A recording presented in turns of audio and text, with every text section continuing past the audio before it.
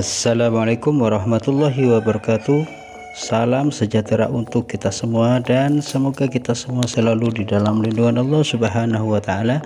Amin amin ya rabbal alamin.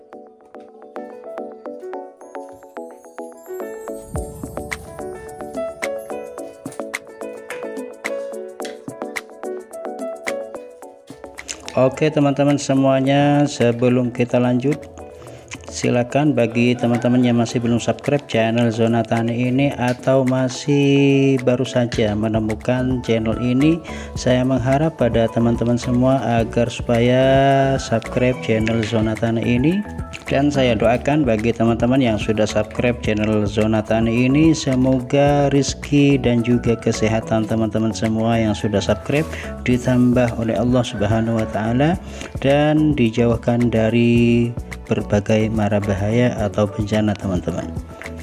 Kemudian bagi teman-teman yang di dalam keadaan sakit atau kurang sehat atau keluarga teman-teman eh, ada yang kurang sehat atau sakit saya doakan semoga penyakitnya segera diangkat oleh Allah subhanahu wa ta'ala.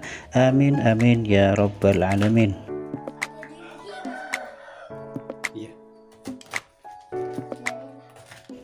Oke kita lanjut teman-teman. Eh, pada kesempatan kali ini saya akan memberikan tutorial cara membuat E4 yang bagus teman-teman sebagai ganti dari E4 yang mana kualitasnya ini sama dengan E4 sebagaimana yang telah kita ketahui bersama teman-teman bahwa E4 ini sangat penting sekali untuk pembuatan bahan-bahan dari organik baik itu berupa POC eh, dan juga pembuatan kompos dan juga banyak yang lain bagian perangsang buah perangsang daun dan juga eh, penyubur tanaman. Ini semuanya memerlukan E4 teman-teman. Yang artinya E4 ini adalah sebagai bioaktivator uh, yang mengandung banyak sekali manfaat untuk pembuatan pupuk-pupuk dari bahan organik teman-teman jadi racikan yang sedang kami buat ini adalah sebagai pengganti dari E4 yang mana fungsinya ini bisa melebihi dari E4 teman-teman. Yang mana manfaat serta guna dari pencampuran bahan-bahan ini adalah sebagai uh, pupuk kemudian sebagai pestisida bisa juga difungsikan sebagai fungisida alami dan juga berfungsi sebagai bioaktivator yaitu sebagai mana yang telah saya utarakan barusan teman-teman sebagai pengganti dari E4 kemudian sebagai pengurai bahan-bahan organik dan juga sebagai perangsang buah teman-teman. Jadi uh, fungsi dari pembuatan ramuan ini atau campuran ini bisa dikatakan lebih sempurna ditimbang uh, kita memakai E4 teman-teman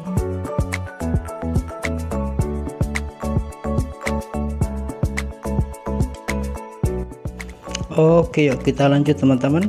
Itulah pertama bahan yang kita perlukan yaitu nanas yang sudah di blender seperti ini teman-teman.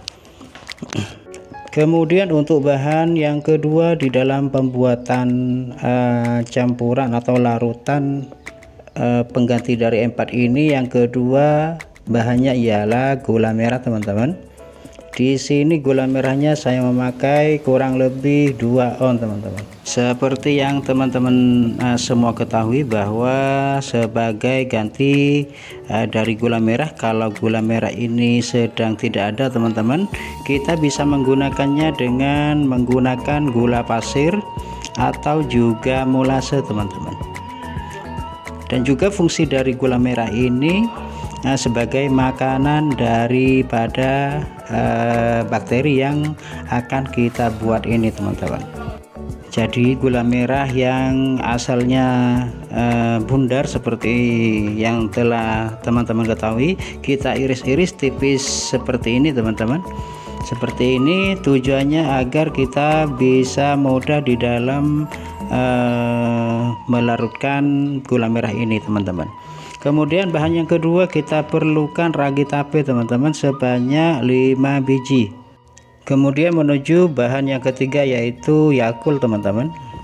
Yakult ini eh, banyak sekali bakteri yang terkandung di dalam minuman Yakult ini teman-teman. Kita jadikan bahan yang ketiga. Kemudian untuk bahan yang keempat kita perlukan PSB teman-teman. PSB ini berumur sekitar dua bulan teman-teman. Fotosintetik bakteria. Kemudian bahan yang kelima yaitu air cucian beras. Sebanyak kurang lebih 6 liter teman-teman. Kemudian alat yang kita butuhkan yang pertama yaitu trigen yang kemudian kita akan menambahkannya dengan botol-botol air mineral. Kemudian ini teman-teman alat untuk mengisi ke dalam trigen atau botol teman-teman. Kemudian langkah pertama yang kita harus lakukan yaitu air cucian beras sebanyak kurang lebih 6 liter. Yang ini akan kita campurkan dengan bahan-bahan yang empat ini teman-teman. Yang pertama akan kita masukkan ragi tape ini sebanyak hmm, 5 biji atau 5 butir teman-teman. Yang pertama harus kita lakukan untuk menghancurkan ragi tape ini kita remas-remas kita masukkan atau celupkan dulu ke eh, air cucian beras ini. Kemudian teksturnya akan berubah menjadi lentur teman-teman yang asalnya keras. Kemudian dengan kita celupkan pada air cucian beras ini maka teksturnya akan menjadi lentur seperti ini teman-teman. Maka akan memudahkan kita untuk meleburkannya ke dalam air cucian beras ini. Kemudian setelah uh, ragi tape ini hancur kita aduk-aduk sebentar agar hancur dengan merata teman-teman.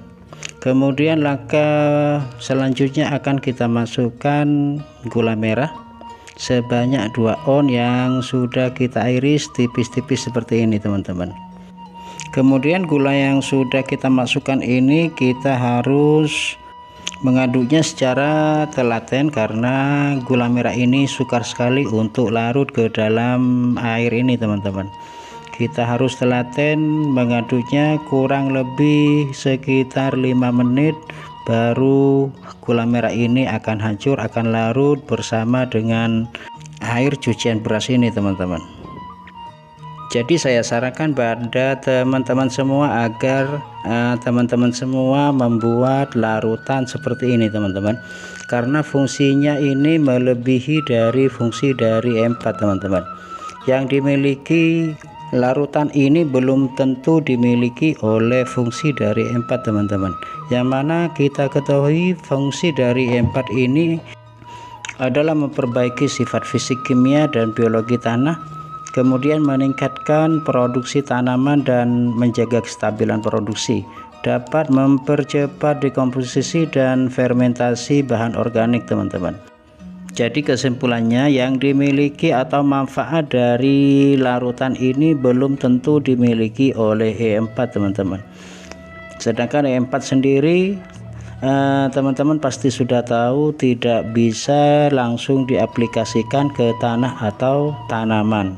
Sedangkan larutan ini bisa eh, kita aplikasikan langsung ke tanah ataupun ke tanaman kita teman-teman. Kemudian bahan yang keempat kita sudah masukkan barusan yaitu berupa yakul sebanyak dua botol teman-teman. Kemudian ini adalah nanas yang sudah di blender yang sudah dihancurkan teman-teman kita campurkan masukkan ke dalam uh, campuran bahan-bahan yang empat Oh ya teman-teman perlu teman-teman ketahui bahwa nanas ini sangat banyak fungsi atau manfaat untuk tubuh kita teman-teman. Juga manfaatnya untuk tanaman banyak sekali uh, sedangkan kandungan yang terkandung pada nanas ini adalah 10 gram karbohidrat 1 gram serat kemudian 58 IU vitamin A 48 uh, mg vitamin C 18 mikrogram folat kemudian 110 mg kalium 12 mg magnesium. Jadi banyak sekali kandungan yang ada pada buah nanas ini teman-teman baik sekali untuk pembuatan perangsang buah dan juga bunga teman-teman. Kemudian bahan yang kelima yaitu PSB atau fotosintetik bateria di mana PSB ini kita butuhkan hanya sebanyak uh, 100 ml teman-teman. Kita tuangkan 100 ml PSB yang mana PSB ini sangat banyak sekali manfaat yang terkandung pada PSB ini teman-teman kemudian setelah lima bahan kita masukkan semua kita aduk-aduk kembali secara merata teman-teman agar pembuatan larutan ini bisa maksimal hasilnya teman-teman sesuai dengan apa yang kita harapkan.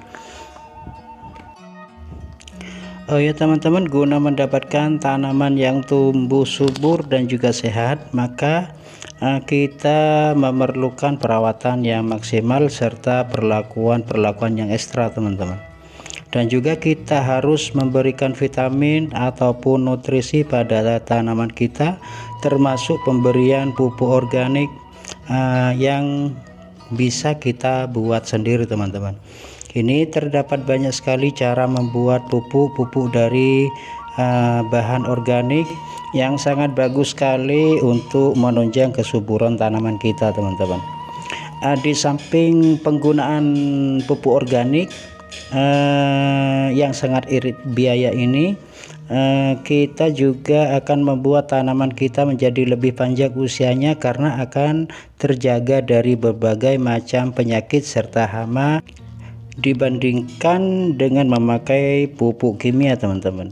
Dan juga tanah kita akan menjadi lebih sehat dan subur Sebaliknya, jika kita menggunakan pupuk kimia, uh, tanaman kita rentan sekali terserang berbagai macam penyakit dan juga tanah kita akan menjadi semakin rusak. Kesuburan tanah akan hilang secara berlahan dan juga di samping itu pemakaian pupuk kimia atau obat-obatan dari bahan-bahan kimia uh, yang berdampak pada kesehatan kita, teman-teman berbagai macam penyakit hinggap dan akan merusak jaringan kesehatan kita.